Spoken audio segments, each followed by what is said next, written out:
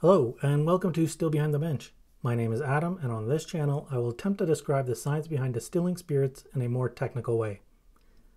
Hopefully, it'll whet your appetite to learn more and teach you enough so that you're more self sufficient. So, for this video, I'm going to talk about why it's recommended to have some copper in your still.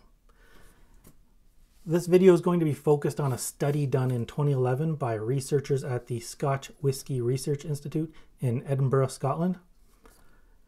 Name of the study is The Impact of Copper in Different Parts of Malt Whiskey Pot Stills on New Make Spirit Composition and Aroma. Essentially, it's all about how does copper affect the sulfur compounds in your distillate. I put a link in the description of this study. Let's get started. Okay, so you all may have heard someone state that you should have copper in your still to remove sulfur compounds. You may have also heard that it's not actually necessary. That's why I decided to make this video with a credible study to show why you should in fact have copper in your still. So let's get into it. The first thing you should know about the sulfur compounds that are in the wash is that they are detectable by humans at exceedingly low values. DMTS, uh, dimethyl trisulfide, which is the sulfur compound that is the main focus of this study, is detectable, has a detectable threshold. So the average human can detect this compound at only 33 parts per trillion in a 20% ethanol solution. 33 parts per trillion is only 33 nanograms per liter. That is a very, very small amount. Grams, milligrams, micrograms, and then nanograms.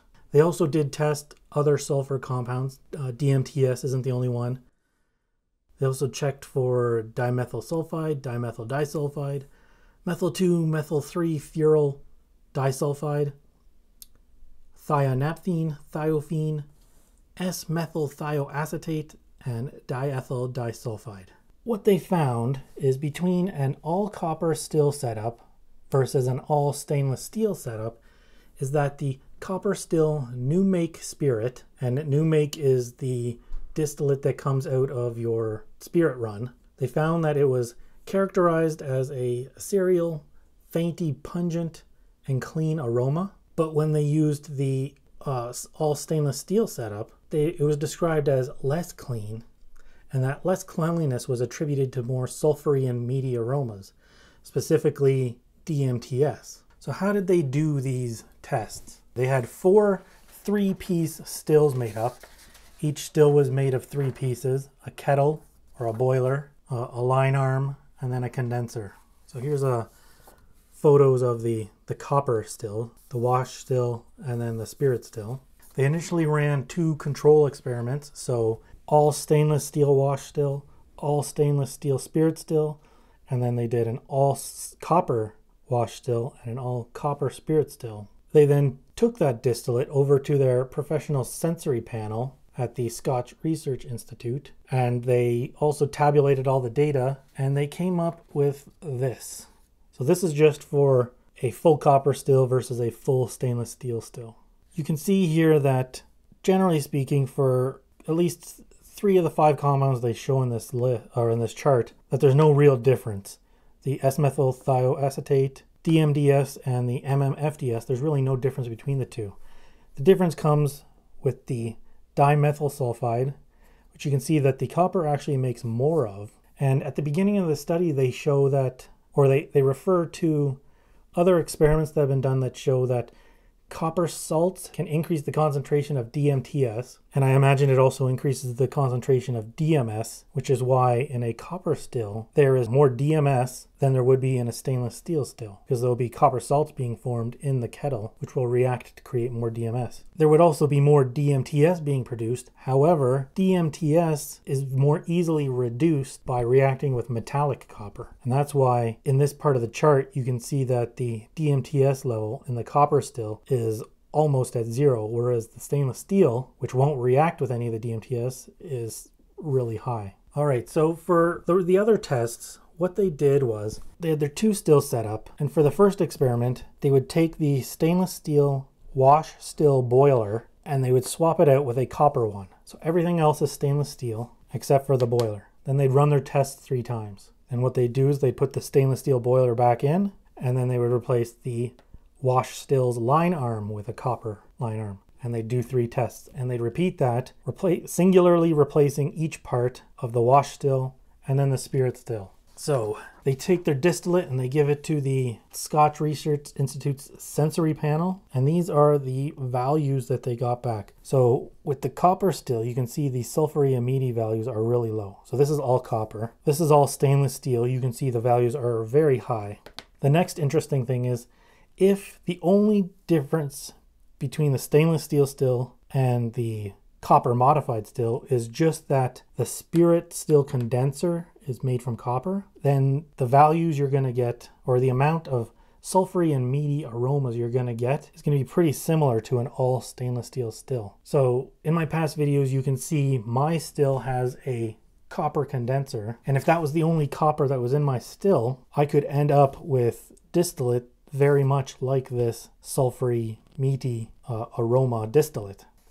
Next up, I have the, the actual compound levels for DMTS. Again, you can see with no copper, the DMTS levels are pretty high. This would be between 17 and 18 parts per billion, and we know that it's measurable at 33 parts per trillion, so this is a very high amount. So S1 is going to be the wash still pot. S2 is going to be the wash still line arm. S3 is the wash still condenser. And then the spirit still pot is S4. Spirit still line arm is S5. And then spirit still condenser is S6. So you can see that the greatest changes are when you make the wash still line arm, the wash still condenser, or the spirit still uh, boiler copper. They're all pretty significant changes.